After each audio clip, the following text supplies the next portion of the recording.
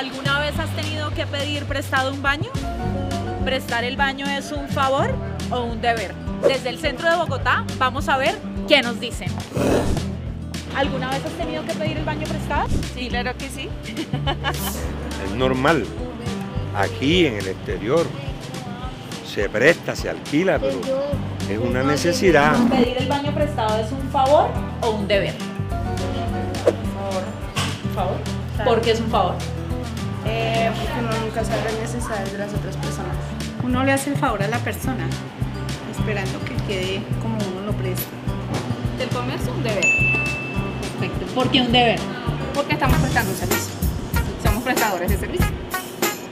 Según el artículo 88 del Código Nacional de Seguridad y Convivencia Ciudadana, los establecimientos comerciales tienen la obligación de prestar el servicio de baño a mujeres en estado de embarazo, niños, personas con discapacidad y adultos mayores. Si no lo hacen, podrían recibir una multa.